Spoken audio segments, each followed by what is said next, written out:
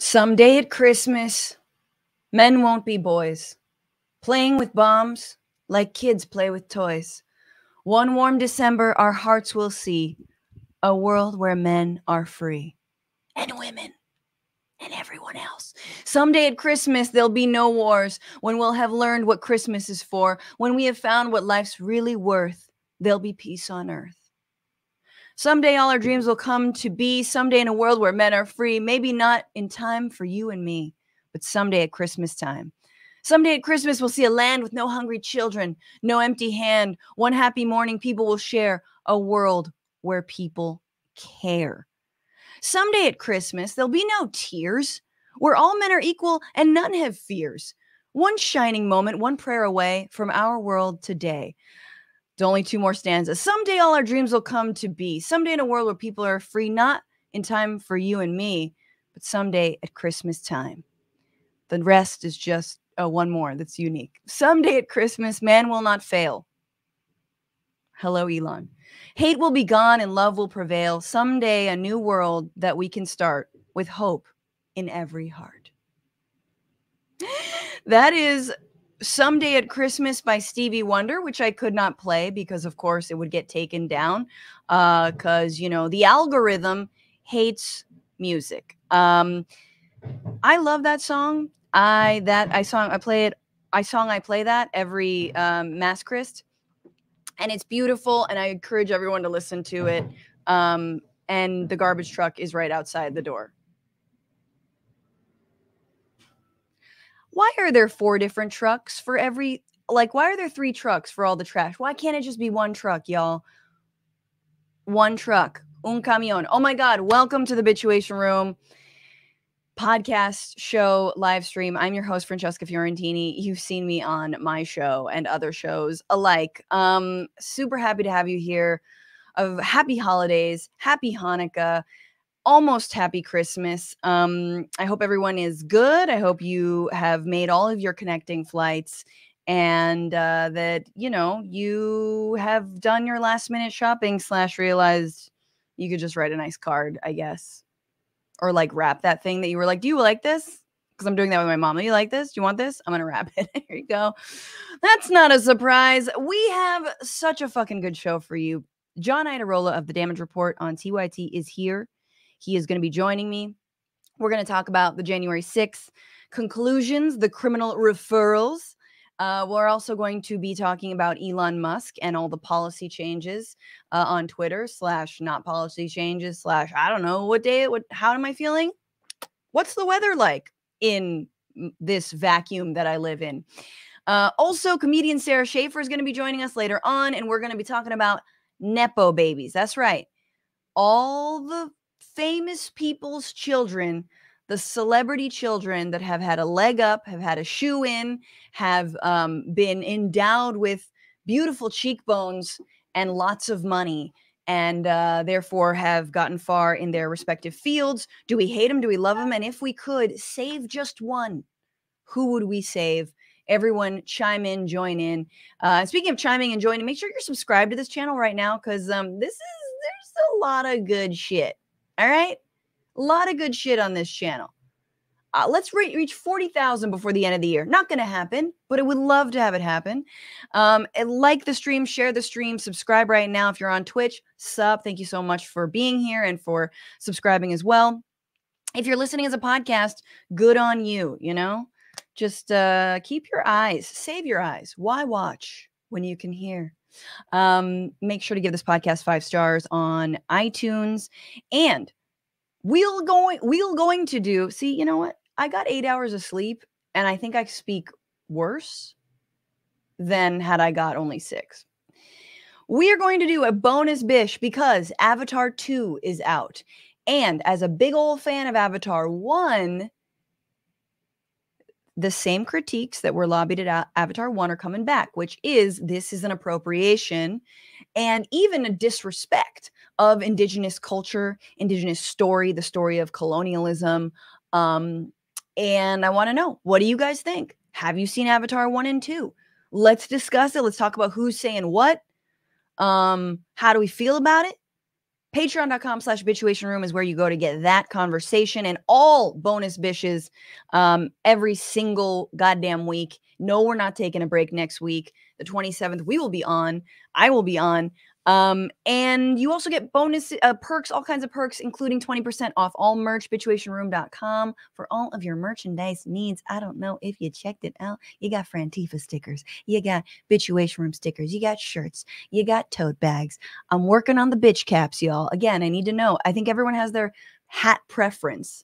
Mine would be like a dad cap, like a soft dad cap. I feel like that generally looks good on everybody, but you never know.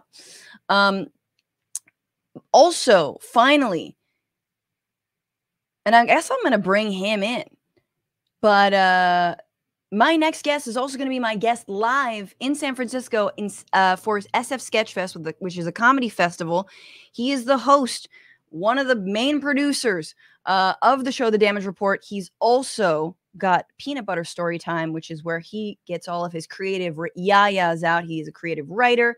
He's an author.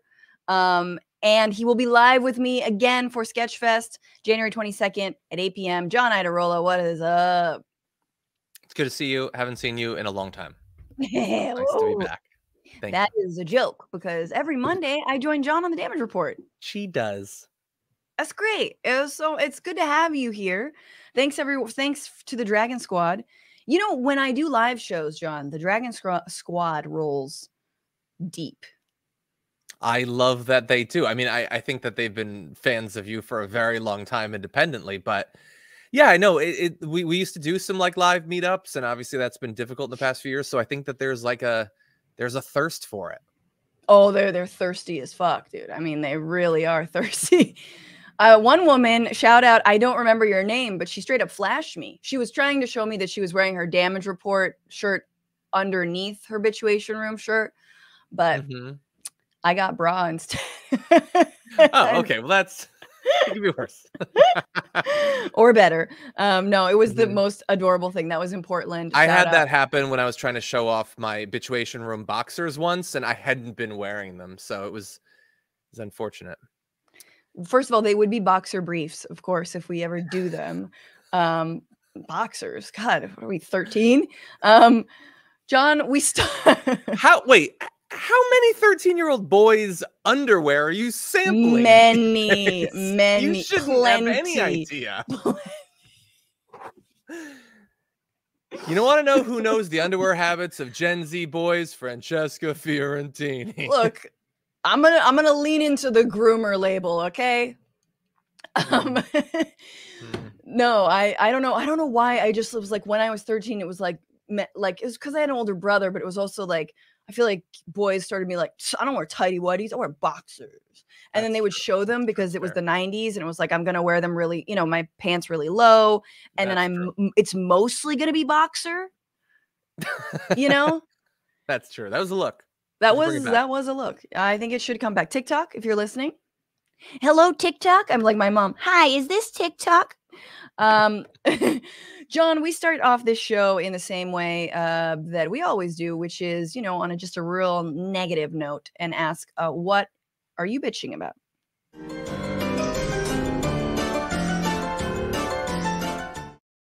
Okay, John, I want to subject you to an article that I don't know if you were privy to, or if you were, I feel like we need to give it more attention. Um, it's not just that Kyrsten Sinema has declared she's now an independent and um, we're just so bipartisan and i need to be able to collect money from both sides of the aisle um, and fossil fuel companies have been really raring to go. Um, but we also found out this week that Kyrsten Sinema has a side hustle you people. Side hustle and this is from christina cauterucci from slate who did a little deep dive into probably a, not a not a crucial not a critical story it's not a climate change story but she basically found out that someone under the same name as Kyrsten Sinema, which is the most Gen X thing you could do, not even trying to like hide your name or whatever, has been selling designer goods on Facebook Marketplace and has like an incredible rating.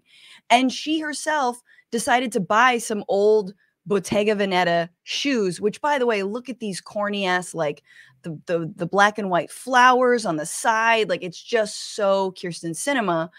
I She sorry, not not a Bottega Veneta, bag bag Badgley Mischka. I don't know how to say that. Bagley Michka, they're also designer heels.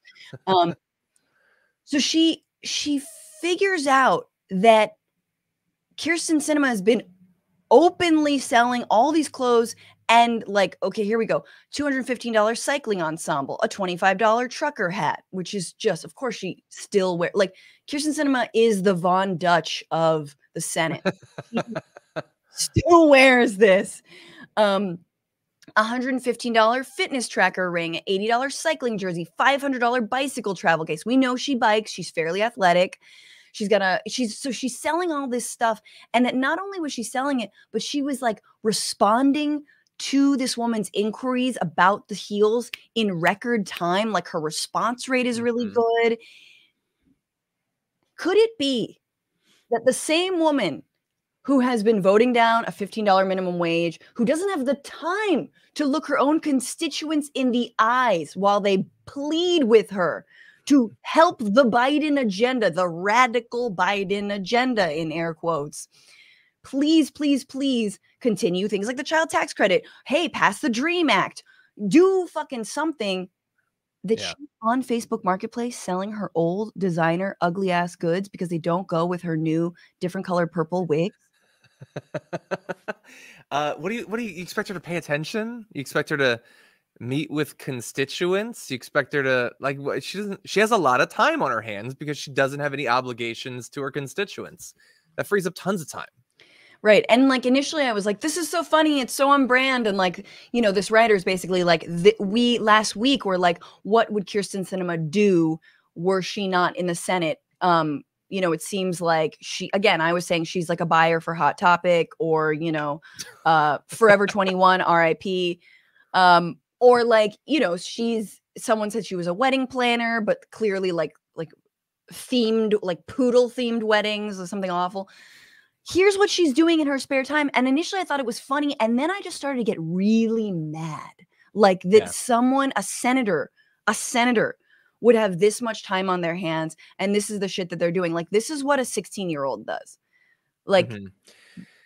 Yeah, look, if this was the only thing like this, I wouldn't necessarily mind it. It's being kind of th- like thrifty, wanting to, you know, save money, like you're Save the contributing to, you know, rather than people just going and buying more clothes, which has a negative environmental impact, they're recycling. But for me, I, I don't think that this is her side hustle. I think she's just a side hustle. She's interning at a winery and then she's doing a marathon and then she's doing this she's Yes. eat pray loving when she should be meeting reading writing legislation voting for things that like she'll find something else in two months she's just living her best life when she's supposed to be doing her damn job Yes.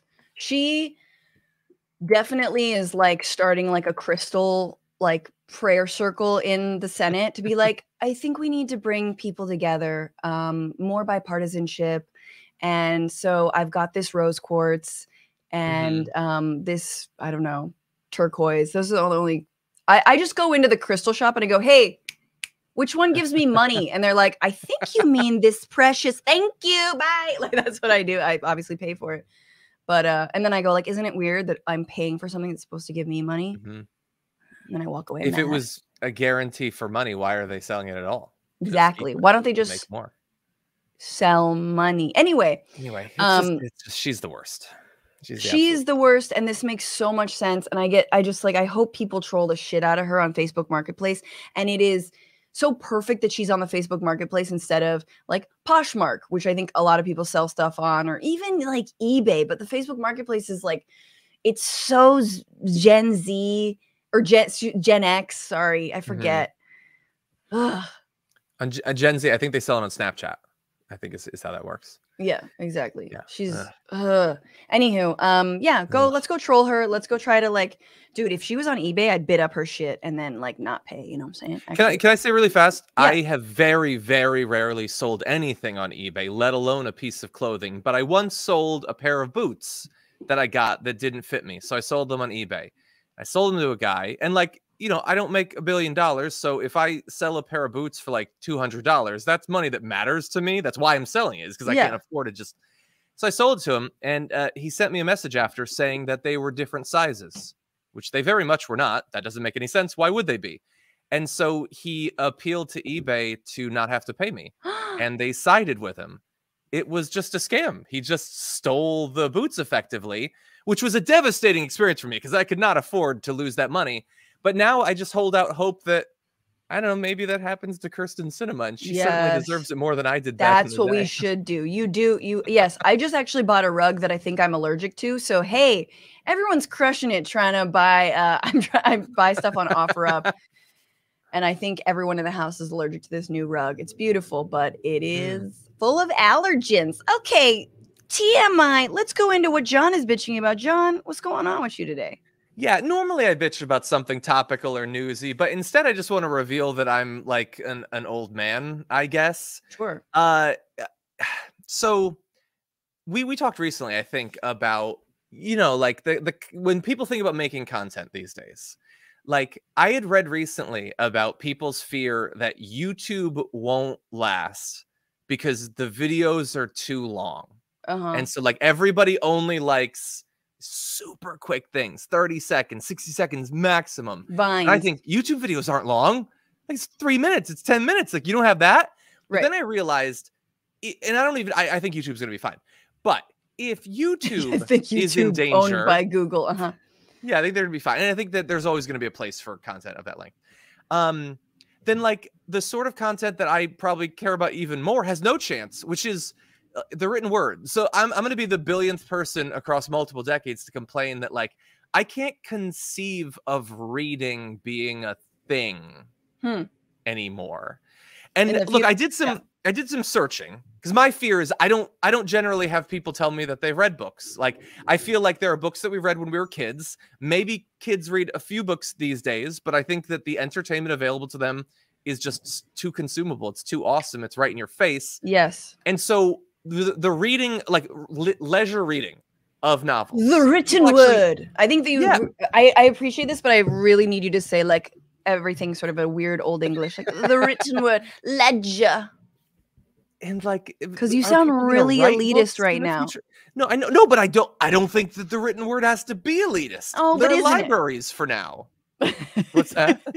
but it is a little bit. I don't know. You libs and your fucking books.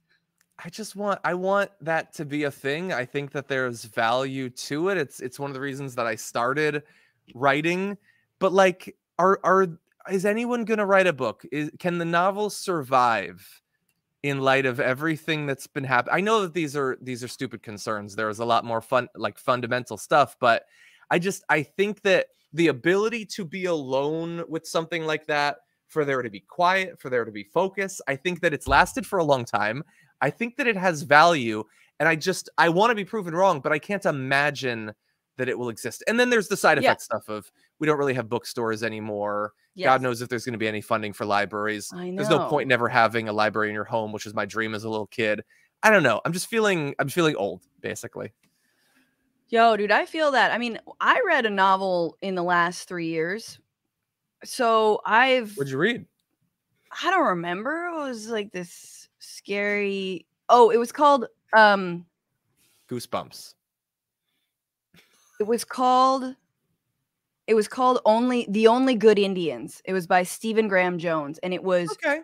scary as hell it was really bizarrely written it was scary as hell and i it wasn't three years ago it was a year ago so i've read like a novel in a year which isn't good but i do think there are you know it's i mean rip her legacy but you know um jk rowling there there there are books that break through right and i think Mm-hmm. Often what was so brilliant about harry potter and you're right i have not read a single one i've told i admitted that to you recently but what was brilliant about it, it was like it's like it took like kids to kind of like hip their parents and adults that like no no no this is not just like young adult fiction this is like really really good really really well written Yeah. you know and then it broke through so like there are those and they generally are in your wheelhouse of like sci-fi fantasy all that stuff Yeah. Um, By the way, I, I want to give credit to like honestly uh, women for being the only ones that are keeping any reading going whatsoever. like they first of all they write the books that break through, whether it's Hunger Games or Twilight or Fifty Shades of Grey What? or the Hunger Games. We They're the don't ones writing it. They're also the ones reading it. we don't claim that that chick. I don't know what. No, you're is. stuck with J.K. Rowling. If if you want her at her best, you need to have her at her worst. But anyway, um, like boys, it's done. Like no no boys read anymore, and that I find that to be devastating. Like the cultural loss to so many people just thinking it's not for them. And I don't know how to fix that. I've occasionally talked about wanting to do something in that area. I just I I hate the idea that that could be like a thing of the past. It's not. It's- It's, not it's telegrams. It's foundational. if having a kid right now and being like, I truly want to hold out like screens from her. I don't want like any screens. And if she needs or has to watch cartoons, it's got to be like she can't carry the cartoon in her hand. You sit down, you watch your cartoon, and then you leave. Like, I want to institute that. We'll see if I'm ever successful. But yeah, the whole thing is like, oh, we're gonna read or read to them early. It's like, why? Why? They, nobody reads. Um, I'm gonna read to her. But Does she have her own phone? I mean, we're working on it, you know. Yeah, She will not have her fine own. with that. But two two rays of sunshine before we move on. One is there is a movement, I think, two movements within young people, with young people. One because of the book bans that are happening in their schools. They're creating like Mhm. banned book club groups, so or book clubs. So they're reading these books, um, which if you've seen them, they're just it just says penis like you know a three thousand five hundred times. I mean, there's a reason they were banned. But no, and the other thing is like I just read there's another article about like kids who are choosing to not have a smartphone.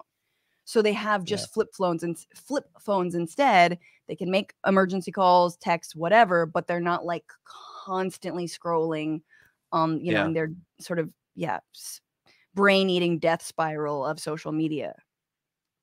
I like it. I But anyway, all right, everybody read for John's sake. please. The old man in my day. yeah, Grandpa. fucking written word. Um, all right, so we read. There's nothing like holding a book. That's the other thing I have. Anyway, we'll talk. But I love mm, the feeling, the smell, mm, the look, the feel of a book. Uh, let's bring in my comedian guest uh, for the hour, writer and miniaturist. That's right, miniaturist. Brilliant. Seen on MTV, Comedy Central, and more. Going to do their solo show at the Kennedy Center on December 29th and in 2023. So please, please catch her. Please welcome Sara Schaefer. Hi. Sara, Sure, have a go. Hello. welcome. Yeah. God, that background's beautiful. Are Mm. you in your are you in your work area? You look like I'm you've in got my nook. I'm in my work nook. nook situation. Um, John Iadarola, I think you need to know Sara Schaefer because Sara is, in, you both are incredibly creative uh, and like have awesome imaginations. And Sara um, literally has created like, you created a mini comedy club and a com like a show in miniature form with comedians. Yes, I did. I've I've Good. I um work in 112 scale mainly, which is dollhouse scale. So like I'll just show you. Yeah, I'm like, what? Compare that to a Here's a couch adorable. I made. So the easiest way to remember 112 scale is one inch in this scale equals one foot in real life. Ooh. Nice. So it's 12 times smaller. And, What uh, rodent? Are we talking chinchilla? A mouse? a mouse, A even mouse. smaller, like a really small mouse, a baby mouse. Um, I know. Um, but yeah, I love miniatures. I've been collecting them my whole life, but it really wasn't until the pandemic where I started trying to make my own stuff. And yes. I thought, you know, oh my God, how cute would it be to like make a scale model of my trauma? And so I made a uh, mini comedy club. Is that related to something you're bitching about, or your? I know your one woman show is is related to that, but but what are you bitching about today and in general? Oh goodness. Um you know, I think uh in the in the grander scheme, my my my bitching is very small. It's tiny. No. um, I think my uh big bitch is um been going on for a while now, which is um with Hollywood and I guess it just extends to America in general, which is um how do you survive in this system as a creative person? Mm-hmm. Um uh, cr- as a creator, Yeah. um, I saw someone uh, say like kind of complaining about the term content creator. It might have even been you. Um, I, I do that a lot. I've I've definitely complained about it, and then we've absorbed the word content to the point where it's now like right. normalized, and it's only happened the last I think couple years. But Yeah.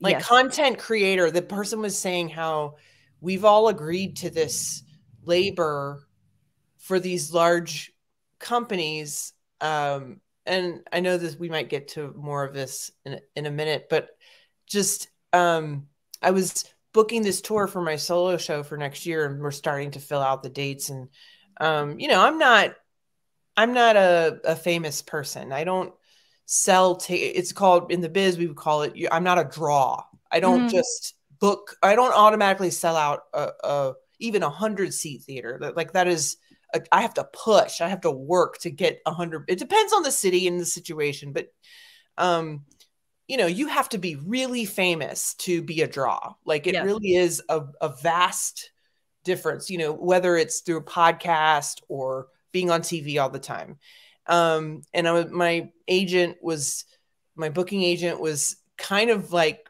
I mean he's I love him but he was being very realistic he's like well Sara I don't know if you can sell out this place where we're talking about whatever and I was like I know and and I wanted to scream because I was like so much of it is out of my control right. um not just like how famous i am or beloved or what those questions which are so hard to figure out and for anyone um but like social media like and how an algorithm Mhm. can control whether or not like i have so many people every time i say oh i, I i'm going to perform they go come to portland i'm like i was there last night how did and I posted about it 20 times. Like, Right. you know, and every comedian I know and, and touring performer has this same frustration, not just uh, performers, but like people selling, you know, art or, you know, anything that they're content creators, you know, it, you're such at the whim of Yeah. what what's working today on social media. Uh, what, Absolutely. what company is now pivoting towards 15 second videos and now every comedian is like ah god i gotta make a 15 second video you know Yeah. I it hits the, the, it's it's gotten incredibly absurd and it is it was hard enough to make money before and now it, it feels both easier and harder. Obviously social media has opened doors for folks. You can monetize but again it's it trickles. Like it's not a lot. And and it's not then- guaranteed. Oh my god it could change in a heartbeat. Yeah. tomorrow if they change the algorithm people are screwed. Um Yeah. it all there's a lot of brands that are involved but like it is another way to precarious precar pre- make precarious an already really precarious art form which is live comedy live performance um already hanging on by a thread but you got to play that game i know someone not going to name his name um who literally in the pandemic created a fake comedy club in his home, shone a light on himself, did stand up bits, and then added laughter. And he got a million followers on TikTok. A million, and uh, honestly valid I right? mean, if you're Like- gonna go to the trouble Respect the fucking game because that's all it is. Is just put up your clips, people dying laughing at your jokes, da, da, da, and then book a room. And a lot of TikTok stars, not all of them, will fill a hundred Mm. seater easy, but they don't have any material. They don't right, that's what i was just about to say i was like i'm i'd be interested to see that person headline right right but then clubs will book based on your your um how many followers you have mm-hmm. it's it's crazy yeah i i have an nbc thing which is exciting like i have like there's like a creator accelerator program blah blah Oh, blah yeah. my first deadline article very mm-hmm. cool it's like tiktok stars I got like 8,000 followers on TikTok. I'm not a TikTok star. I don't know how I got included in this group. I'm very thankful. It's cool. It's like they, you know, we're, I'm going to pitch a show, et cetera, et cetera. But like, it's so funny to see. It, it's just so funny to be included in this like mm-hmm. Gen Z group when I'm everything but, and I've got, you know, a fraction of the followers. Um, and it's sad ultimately. Okay. Um, Sara, I know your one woman show is based on the trauma of stand up as well. Yeah. and so I'm so I can't wait to see it. Everyone needs to go see it. Um, please, please, please. We'll we'll we'll plug it at the end. But we got to get into this week. It's been a while.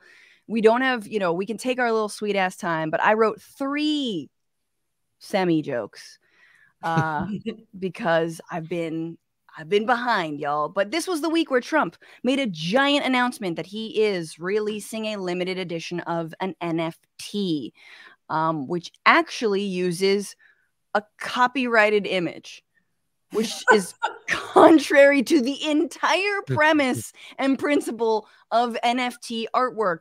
And I just think it's so funny that, like, the the right tries to own the libs you know they're so desperate to own the libs and they just kept keep getting cucked by like reality you know? Like they just they just live their lives and they get cucked. They fucking get owned by the fact that no you can't sell an nft that's copyrighted. Anywho i'm definitely buying it. Um scientists have cracked scientists have cracked the code for nuclear fusion which means if i understand this correctly more nuclear power is created than the nuclear waste uh to in, to create it more energy comes out than the energy that goes in to create the reaction. Whatever, book reader. this could be a game changer for clean energy by the year 2030, uh, which is the year, ironically, that scientists say we have we have until climate chaos really begins. Like we had 12 years from 2018 that takes us to 2030. We could sit around and wait for this technology, or we could just stop buying so much shit. There's also that and finally, Argentina wins the World Cup in a game that gave me so many gray hairs, giving uh, the retiring Messi his long sought dream of bringing the World Cup back to Argentina for the first time since 1986. I have so many thoughts on this, but I'll spare you for that. Uh, don't at me about all the you know con- contradictions. It's a fucking game. Let's enjoy it. Messi wore a bisht, a bisht in the reception ceremony, which is a traditional Arab garb used for special occasions. And now this podcast will be known as the bishtuation room. For everything else, this is the week where.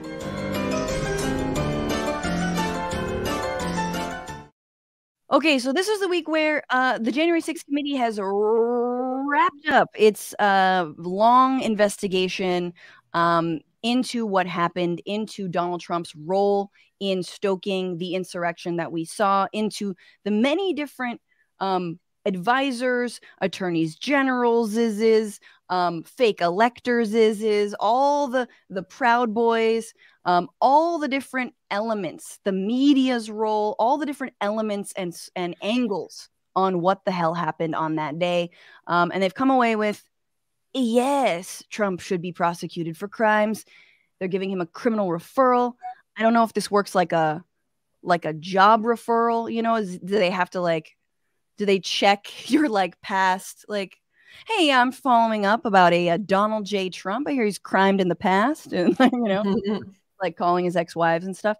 So here is jamie raskin um, presenting uh, Rep- representative jamie raskin presenting the four charges that they believe trump should be charged with. This is the starting point for our analysis today the first criminal statute we invoke for referral, therefore, is Title 18, Section 1512C, which makes it unlawful for anyone to corruptly obstruct, influence, or impede any official proceeding of the United States government. We believe that the evidence described by my colleagues today and assembled throughout our hearings warrants a criminal referral of former President Donald J. Trump, John Eastman, and others for violations of this statute. The whole purpose and obvious effect of Trump's scheme were to obstruct, influence, and impede this official proceeding, the central moment for the lawful transfer of power in the United States. Second, we believe that there is more than sufficient evidence to refer former President Donald J. Trump, John Eastman, and others for violating Title 18, Section 371. This statute makes it a crime to conspire to defraud the United States. In other words, to make an agreement to impair, obstruct, or defeat the lawful functions of the United States government by deceitful or dishonest means. Former President Trump did not engage in a plan to defraud the United States acting alone. He entered into agreements, formal and informal, with several other individuals who assisted him with his criminal objectives. Our report describes in detail the actions of numerous co conspirators who agreed with and participated in Trump's plan to impair, obstruct, and defeat the certification of President Biden's electoral victory. Okay, so he lays out two crimes there. There's four um, in total. Uh, again, obstruction of an official proceeding, conspiracy to defraud the United States, conspiracy to make a false statement, uh, and inciting, assisting, or giving comfort to an insurrection. Lots of comfort. Lots of comfort. Soft, pillowy comfort. um, so it seems like the hardest to convict him on, should this go forward, is that last one. The stoking or comforting an insurrection, which to me seems like the most obvious one. We're going to march to the Capitol. We're going to not stop. Um, you know, and and there's there wasn't like we're gonna smear the feces on Nancy Pelosi's desk, but I feel like that was implied. Um, where does this go from here? Um, so the Justice Department is already investigating under special counsel the notably aggressive prosecutor Jack Smith, great name, uh, who was appointed last month. In messages seen by The Guardian on Monday, former Trump officials acknowledged the strength against Trump. A former administration official said the committee had made a quote, very solid recommendation, while a former White House official said the facts are compelling. These charges are coming. that, those are former Trump officials clearly maybe the ones who are not implicated in this. I don't know if that was John Eastman. You guys remember John Eastman was the guy who was like, mm. but it says here in the part of the Constitution I just wrote uh, that actually uh, other electors, alternate electors, can vote for Trump to continue to be president and to nullify the electors for Biden. So um, that is uh, that's that's John Eastman's role. Lastly, on this, it seems like aim is being taken also at Kevin McCarthy, um, Representative Kevin McCarthy, the current House Minority Leader, who aims to become Speaker.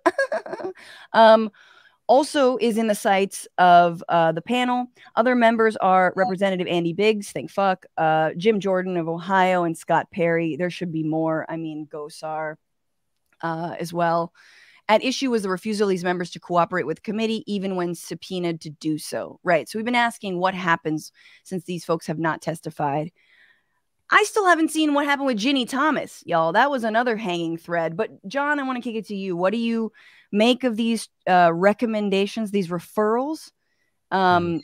How important is it that these have come down, and what do you think about what could happen?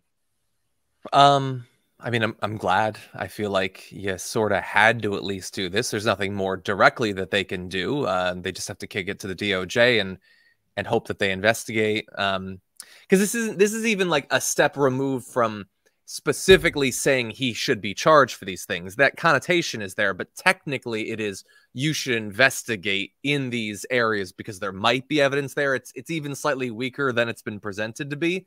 Mm. Uh, he did he did the things. He he he he almost literally did the things like comfort and insurrection is supposed to be a sort of metaphor but no he was literally sending the messages saying that he loves them and they're very special. He was literally comforting them while they were uh, insurrecting. Yeah. For me it's not just it's not just that he organized the people to be there and it's not just that he sent them to the capitol. It's as he was watching hour after hour of the violence he resisted any effort by his own people to have him stop it. That I, I, I don't know how you get past that. You combine that with the calling Georgia to find find me the eleven thousand votes, then I, I don't know. Do we need robot lawyers? Like, do we need someone Honestly. who is not so crippled by fear of the political implications? Because if, if he can't be convicted for this, then the signal they're sending to whatever proto dictator comes down the pike next is so long as you don't literally say, go kill me, the government, Mhm. then you then there's nothing that they can get you on and that cannot be the standard that we hold uh you know potential authoritarians to Yes, and even then, the government is really broad, and uh, there was no specifics in that sort of cr- that cry. So um, Mhm. I bet that could be parsed as well. Sara, uh, it seems so obvious that he did all the criming, that it was, and yet we needed this entire, the entire case to be, I guess, laid out. I don't know who this is for, other than like history. Right. It's for some random kid, you know, um, who happens to have one of the last internet connections, you know, and can go back and watch the archives and, and say, wow, that was crazy. Uh, but not as crazy as what's happening now, you know. um, no, I, I, yeah, I mean, I think it's for us, you know, it's for the people that care Mhm. we all know that the people who are loyal to Donald Trump, they will never be convinced of most of them will never be convinced no matter how much smoking. I mean, look everything that's happened up to this point, the denial already, you know, of I mean just things he's said on video Mhm. they will deny that that happened if it made eh, him look bad you know like so there's no convincing of that crowd um and so that's why i'm just sort of you know if you don't press charges and we don't like you know make like accountability happen why would you bow to people who couldn't be convinced no matter what you know it's like Yeah. why are we it's we've been in it for a long time why are we like um, you know, everybody's fussing over this small minority of people. And, you know, people always, they always go, oh, it's 50 50. It's 50% red and 50% blue. And it's like, that's a really overly simplified view. There's a much smaller core group that is like this extreme Yes. but they're any time we concede to them and coddle them, they grow. yeah. You know, so in my opinion, you gotta, yeah, I think so. I think I mean that th- exactly. This is I think it is a loud minority and I I've I think I disagree slightly with a take that it's like it's all Republicans. All Republicans are this crazy. No, I actually think that a lot of them did lose the MAGA thread when specifically around COVID as they were dying um, and also around the January 6th insurrection. And yeah, the revelations are so insane. Like this whole summer, it's been like Trump grabbed the wheel of the Secret Service agent, most likely, and tried to steer himself to the Capitol to like stand on a mound of skulls. Like, um, the Attorney General, acting Attorney General, was told to investigate Italy Gate, which was the theory that satellites in Italy or uh, designed by some Italian were flipping votes of the Dominion voting machines to Biden, right? And they straight up were like watching YouTube videos because the president told them to watch a YouTube video. Um, so it is, it's just so insane. And we got so close. If this isn't co- grounds for criminally convicting and and also um mandating that no longer can any of these people hold office specifically Donald Trump. I don't, honestly I give a shit more about Trump than I do any of the lackeys even though I fucking hate these lackeys. Mhm. Even if Donald Trump can't be prohibited from running for office then I don't know what kind of a democracy this is. Like what the fuck? We're so bad. Like we've known we sucked, but we really sucked push come to shove, you get feces all over your democracy, and it's like, ooh, we gotta walk around with doo doo on us forever now. Sorry, I'm just all coming back to the uh, the feces, dude. Um, anyway, it is. It's like Nelson is laughing at our country, but he's got like those horns and his face painted, and he's the QAnon shaman. Just. "Ah." Um, so we shall see. Uh, one thing that's interesting is uh, a lot of these politicians who were on the committee are outgoing. So it's the end of the four of the nine members on the panel, and then two others, Cheney and uh, Elaine Luria, Democrat of Virginia, lost their House seats this this midterms. Um, so, you know, we shall see what happens under the new House.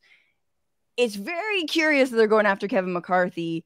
Um, uh, you know, so but a lot of these insurrectionists, a lot of the, these folks, these uh, politicians, they they won their reelection. Um, Wisconsin homie, whose name I'm forgetting deliberately. Um,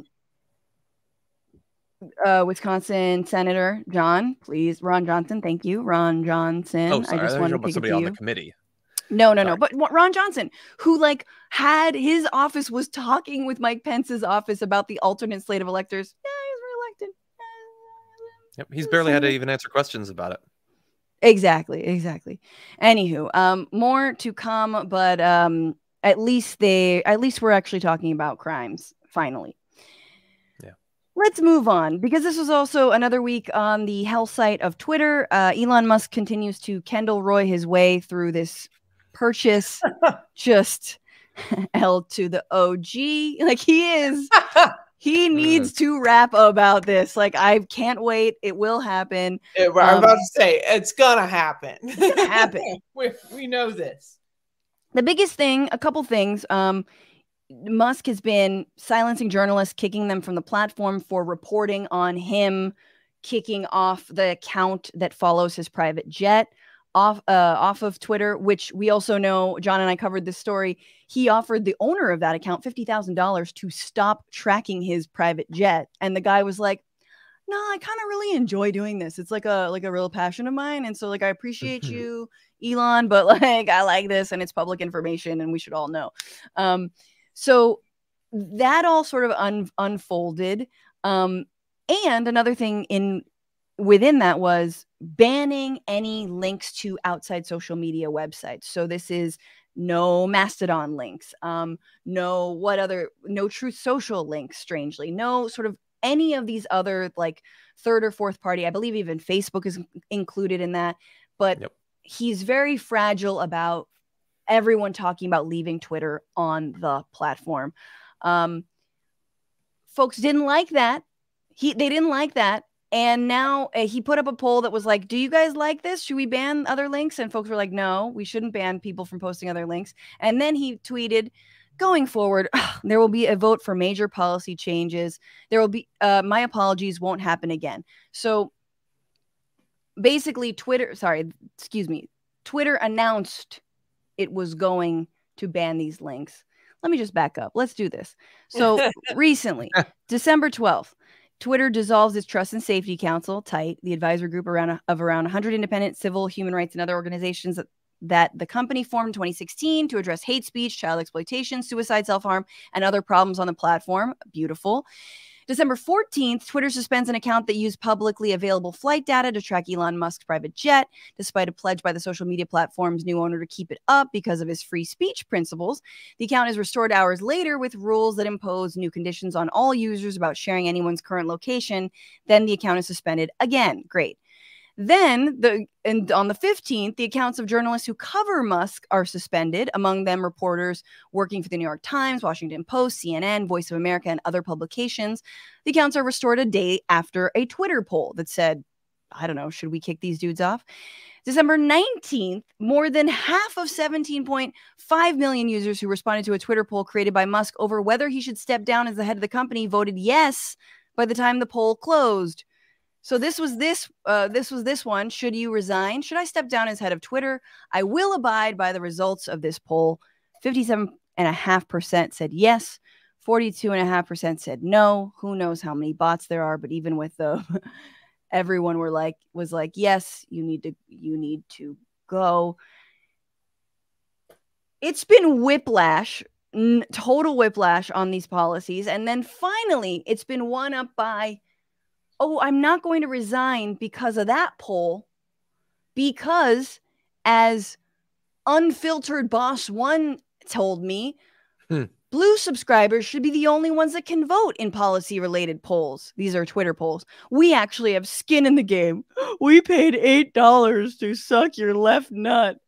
And Elon Musk replies, Good point. Twitter will make that change.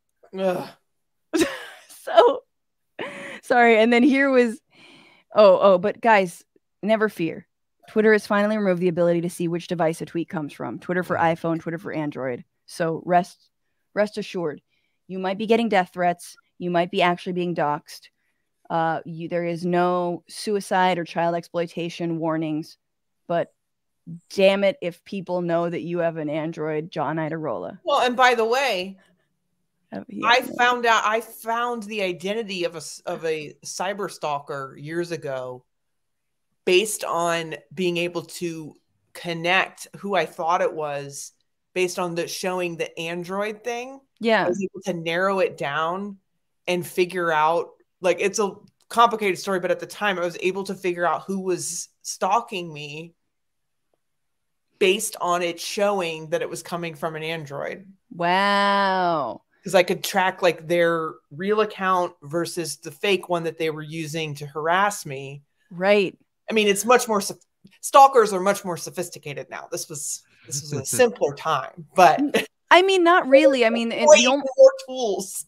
the main cyberbullying that I've experienced was from former TYT host Jimmy Dore um, while he was on a trip in Italy. And uh, Matt Binder of uh, the Majority Report, and Matt Binder also was one of the journalists who was uh, suspended by Elon Musk, did a whole back channeling using like the Twitter for iPhone or Android thing and also the like carrier of where Jimmy Mhm. Dore was posting from to show that Dore was using these fake bot accounts to troll me. Like he would troll me and then he would log into his fake bot accounts to troll me.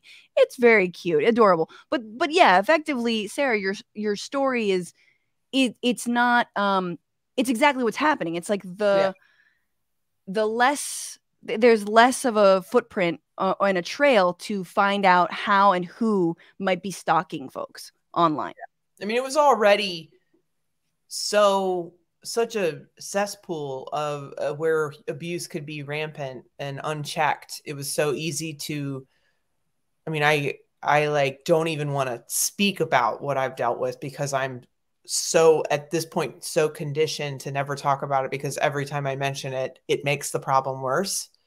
Yeah. But Yeah. when you there, this is what I've always said. There are so many people who suffer in silence on social media because if they draw attention to what's been going on, it makes the problem worse. If somebody is coming at like stalking you, essentially, it can escalate things. oh my god, especially if they've got hard.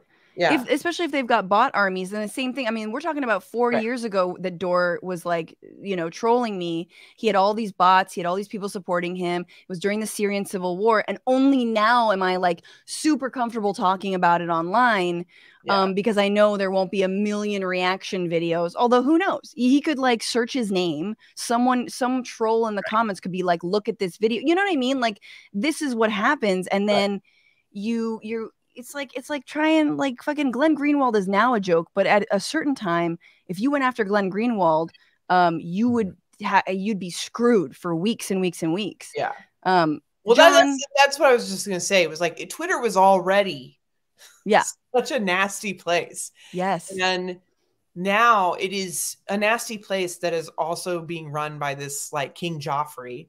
And Yes. it's literally just about King Joffrey now. Uh, Like my whole feed is just about what he's doing. So Yes. it's like not even and I've been on um, you know, and everybody's got their new platform that they're into, but I, I've been on Ma- I've tried them all, but I, I'm on Mastodon the most Mhm. and I'm getting used to it. And I'm it's so much more pleasant Yeah. because Yeah. I, you know, part of it is I don't, I'm not locked into the whatever algorithm I'm in now in Twitter, but Mhm. it's just, I'm like following accounts where- of a guy who just takes pictures of squirrels, you know, like it's I love just it. really pleasant and sweet. John, th- uh, thoughts here on this like back and forth ping pong policy? Will can he just Yeah. let it go? Uh, I think that he might be forced to at least directly let it go just because, you know, of what's happening with Tesla. Like he wants to be in charge of Twitter, but he also likes being rich and he likes being in charge of Tesla. And I just checked. Uh, Tesla's stock price has been dropping all year. Everybody knows that. And more recently, it's been dropping. Everybody knows that. It's dropped $10 a share today. Jesus. It is down over 60% from the beginning of this year. That is devastating. Not only to potentially his ability to stay ahead of Tesla, because they might have to do something eventually, but any perception that he's a competent manager, let alone a Tony Stark level genius. Um, with with the Post. Oh, by the way, eh, he let some of the journalists back. Let's be clear, he has not let all the journalists back. Linette Lopez, who's been doing critical coverage of him for more than four years at this point, and he has personally attacked on Twitter years ago, is still suspended. She's going to be on my show, The Damage Report, tomorrow. We're going to be talking about that. Um, he's been viciously attacking her for years. There's no case to be made that she doxed him just amongst other bannings, he banned her too, and she's still banned. So he hates transparency. He hates the First Amendment. Let's be clear about that. With with the poll, it's not just that literally any right winger giving him an idea immediately he'll agree with and then say that it needs to be implemented. That's mm-hmm. a weird way to manage. Normally, you would have a process. Um, it's not just that he appears to have wikied poll tax and decided that's a good thing. I think I'm going to institute that, or even just that what is this poll supposed to measure if the only people that can vote in it are the people who feel comfortable giving you money right now? like democracy representative of real democracy. Then, exactly. And there's one joke level beyond that, which is Elon Musk will never do something he doesn't otherwise want to do just because a poll tells him he has to. Of course. That's just not how those are going to work. The entire thing is like a a five layered sham. It's like it's when you very Trumpian. Mm-hmm. Oh, it's the most Trumpian. And the and the thing yeah. that has been so good about this year is that or two years, I guess, is that Trump has been off Twitter. Mm-hmm. It's been so much better of a place without Donald Trump on Twitter driving just like the conversation constantly and it was a little funny in the beginning when when elon was driving the conversation. He already was before this. Remember when he would just oh, tweet oh, yeah. out anti-trans stuff tweet out stuff about masculinity fucking mm-hmm. sperm? Mm-hmm. i don't know whatever the hell is, he's, uh, is on his mind. Boobies or whatever he's you know joke he's making. Like Yeah, yeah, he's like he he base he's the equivalent of like typing in boobs into a calculator and putting upside down, you know, or like eight zero zero eight five, what I'm like, um, and like he was already driving the conversation and now it is nonstop. And I have to say that between him and Trump, I am so fucking done with these like megalomaniacal babies driving every single inch of our discussion. It's almost it's almost at least more permissible now that he owns the platform whereas before it was like we don't owe you anything and then you just sort of I'll just see like why are, you know, why are socks trending? And it's like, oh, it's because Elon, um, he wears two left socks, and you're like, the fuck, you know what I mean? Who cares? um, so, but I, I, I just need it to be over. I need, I need this to be done. I think everyone, Sara, an option is to mute the words Elon and Musk. I think the mute option still works. However, a lot of people, and I got, you know, I'm guilty of this. Yeah. Is because I'm always trying to avoid being harassed online.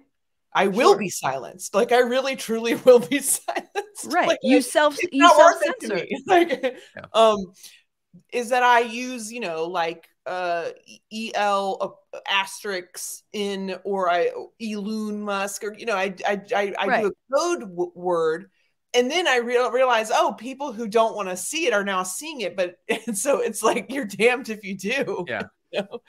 Totally. He is searching his name E L oh, yeah. asterisk uh, N. Uh, um. Anyway, we'll see what the next week brings with these ridiculous goodies. In the meantime, I'm on Mastodon, but I joined like the green server, and I don't know why I'm on the greens. I don't know what the servers do. I don't I don't understand it yet either. I'm on it technically and post. I, I literally just you just sign up for one and I'm on it, uh, but I see anything and everything that I want to see and I'm still like learning it, but I'm yeah, I think it's it's just a hard it's a barrier of entry. I would compare it to like crocheting, crocheting hard to learn, easy to master, knitting, easy to learn, hard to master. So yes. You know, can, it's like uh, skiing and snowboarding. Snowboarding hard to learn uh well whatever. The point is skiing's easier when you start snowboarding's super hard when you start. Um so it's hard to get started and get into but once you're in it i think and i mean but I, we'll see which which which platform rises and if i don't want there to be a, a, a carbon copy of twitter. I want something different. I want something new. Yeah exactly. I want one why. where like i want one that's called weenus and we just show we just take pictures of our weenus. Just like it's just like you take a little just just that every day and you check in with the weenus and you're like hello I'm you sorry. Give a progress report. progress report on the weenus. How's it going? Is it ashy today? Is you is it moisturized? How we doing? All right, guys. That's this is the show. Um one one final segment or two if you're a patron, patreon.com slash bitchuation room. We're gonna talk about Avatar. Um, but okay, the word apparently the phrase of 2022 has been Nepo baby. I'm not on TikTok, but apparently young folks are obsessed with Nepo babies. Uh, that is children of industry, um, children whose parents are famous actors, directors, writers, um, I don't know, whomever, uh, generally in Hollywood, in music, etc. Um, and I kind of think this is inspiring a new segment on this show, which is look, the revolution has come.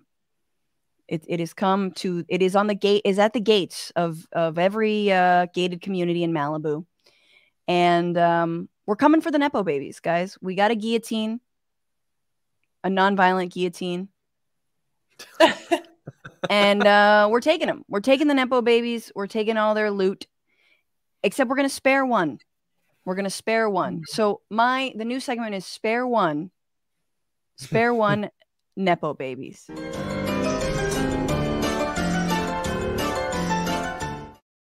What is a Nepo baby? Let me give you some examples. Maude Apatow, daughter of uh, Judd and Leslie Mann. Um, Zoe Kravitz. I'm not going to get into all their parents, but Lenny Kravitz's daughter. Um, Maya Hawke, Ethan Hawke, and uh, Uma Thurman. Dakota Johnson, Schmiggity Boo and Schmeedy. Nick Kroll, who's just somehow a billionaire or a millionaire. Uh, Miley Cyrus, Taylor Swift, yes, an industry darling. SNL hmm. writers, as there are two SNL writers whose parents are just SNL producers. Ben Stiller, Laura Dern, OG. Guys, remember Norah Jones is Ravi Shankar's daughter, but I love Norah Jones. Um, Henry Fonda, of course, OG. Jane Fonda's uh, Jane Fonda is Henry Fonda's daughter. The Skarsgårds. there's a million different Skarsgårds. um, Vulture Vulture did an article all about the Nepo babies, and um, I want to bring it up, see if I can uh, just bring it up here. Um, and there's so many that you didn't even know were children of famous people, and they're everywhere. They're coming out the woodworks, and and it's kind of like I'm so bad with names and faces in Hollywood, but then I'll like I looked at this article and I'm like, oh, that's why they look so familiar because they're all mm-hmm children of other children of other children. But we have to save one. Um, thoughts and feelings, Sara, about Nepo babies and who you're saving.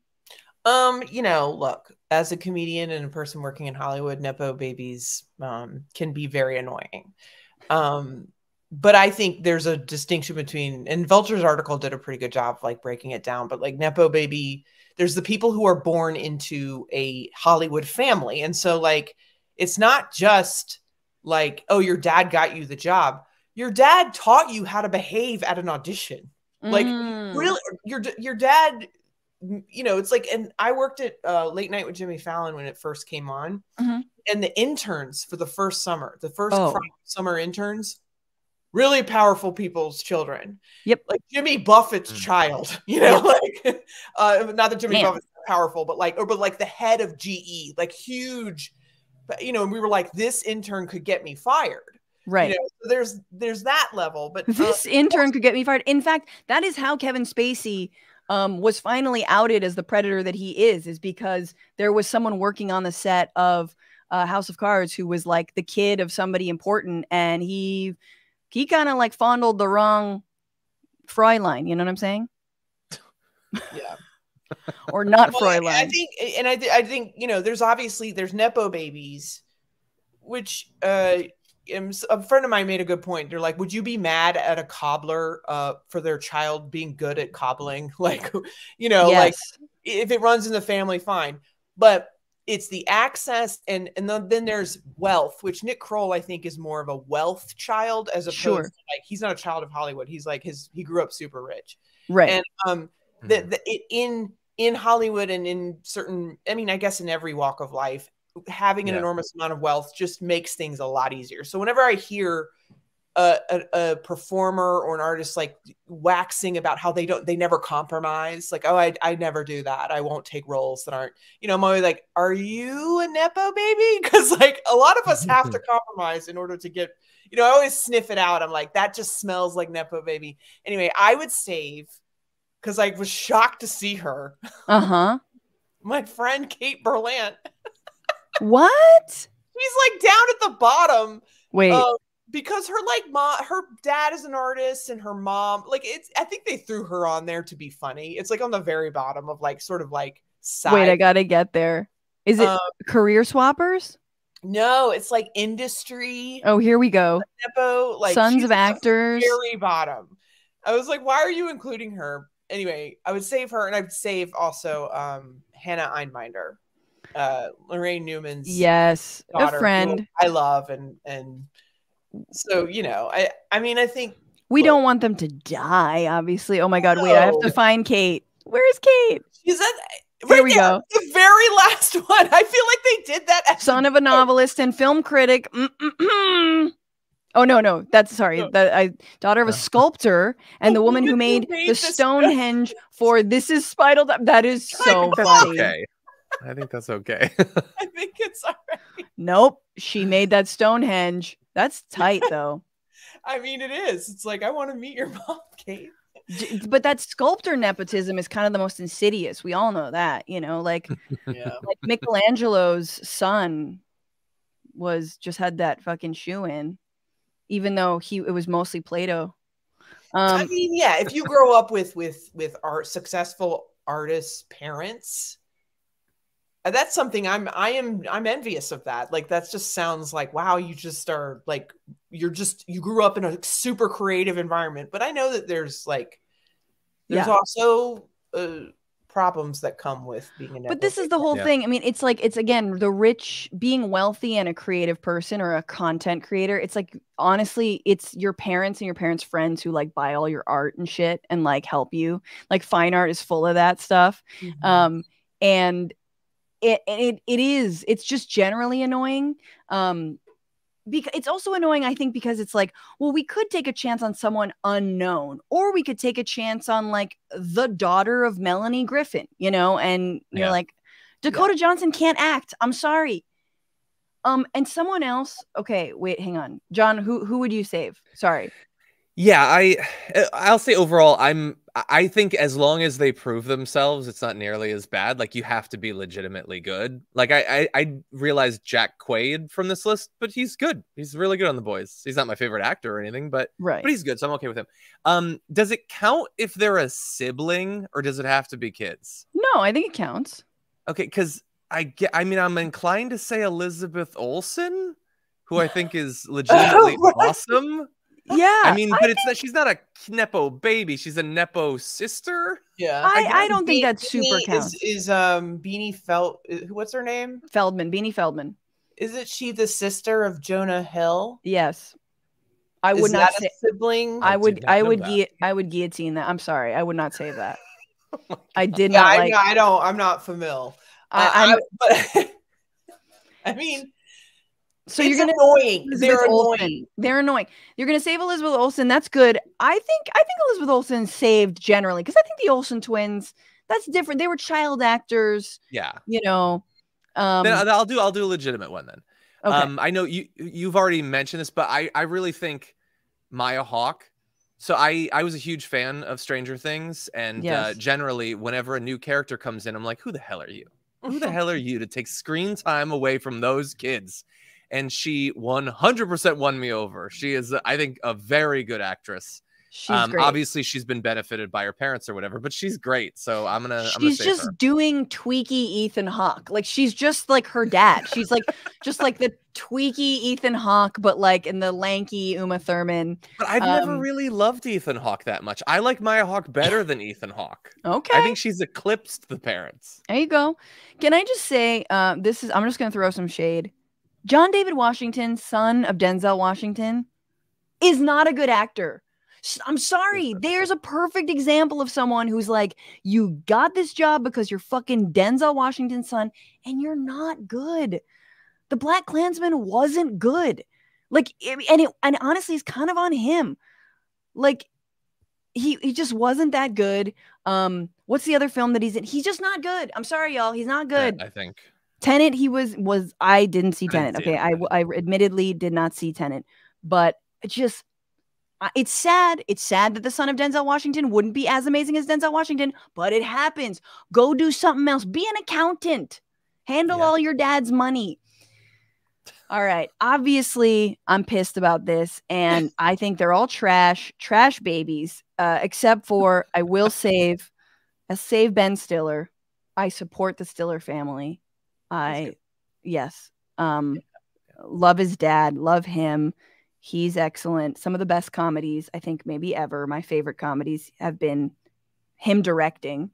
Not really, uh, not really uh, like I could give or take or take or leave some of his acting things, but it's just all everything he directs. Severance. Yeah.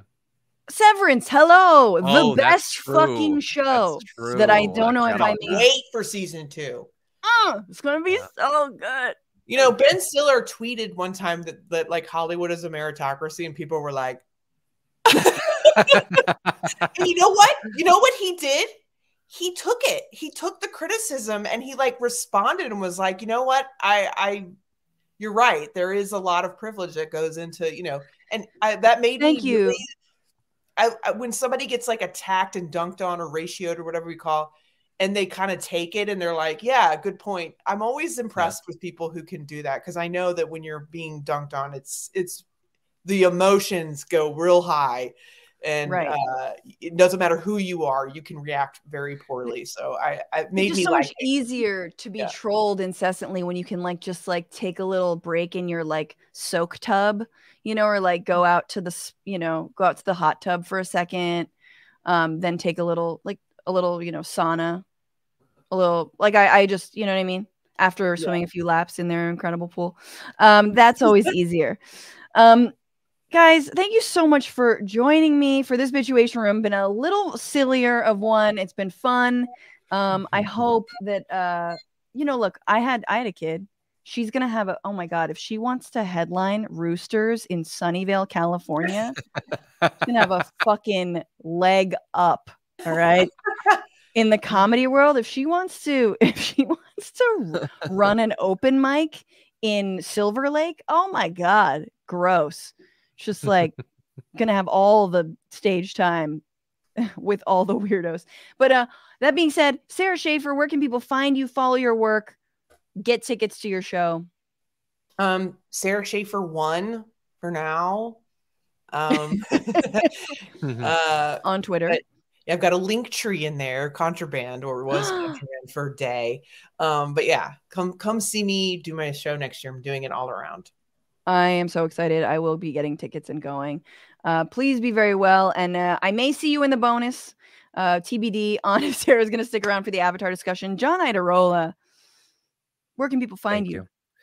Uh, I'm still on Twitter for now. We'll see day by day. John Iadarola. Uh, the Damage Report. You can see me every day. You can see Francesca 20% of those days. Hey, And Francesca's actually going to be filling in for me a little bit next week, which is super exciting.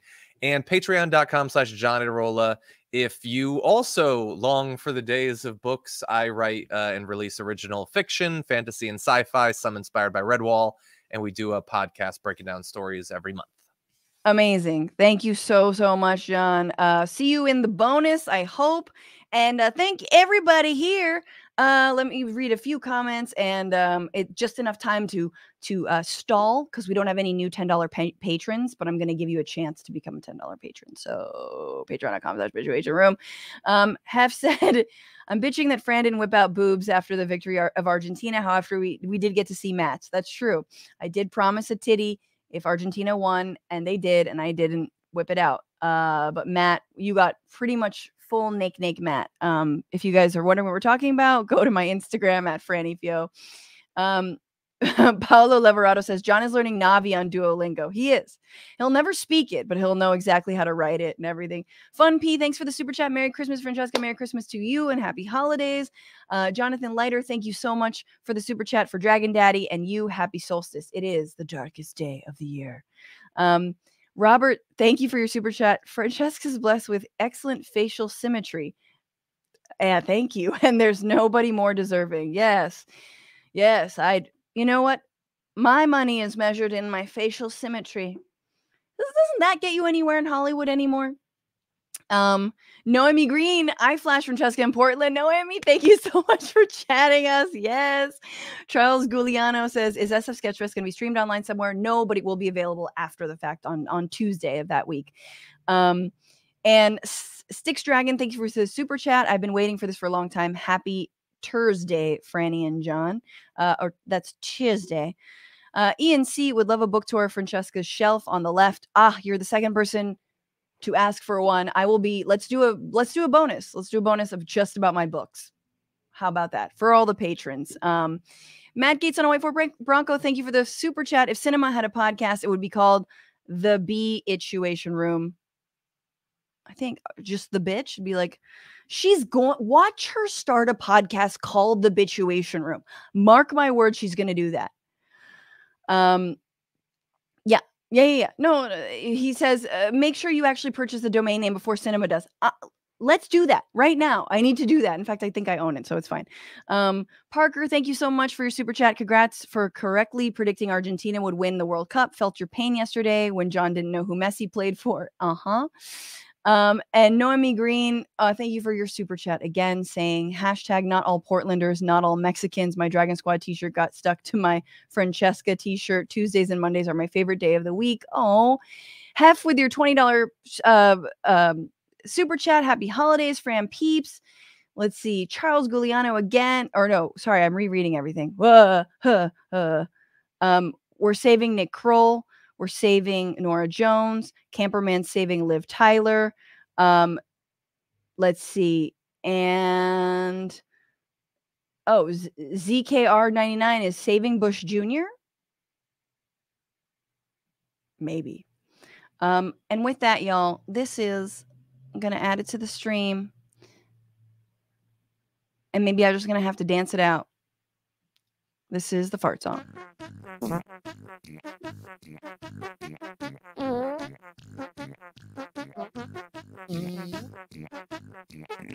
man.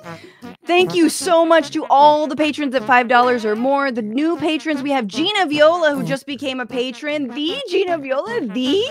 Thank you so much. You're wonderful. Thanks to Star Prudhomme for also becoming a patron uh, at, I believe that's $10 uh, in Canadian. Thank you to the new Twitch subs, Kyle8315.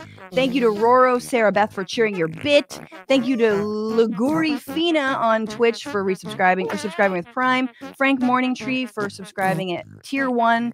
Again, 12 months you've been subscribed. Happy anniversary, bro.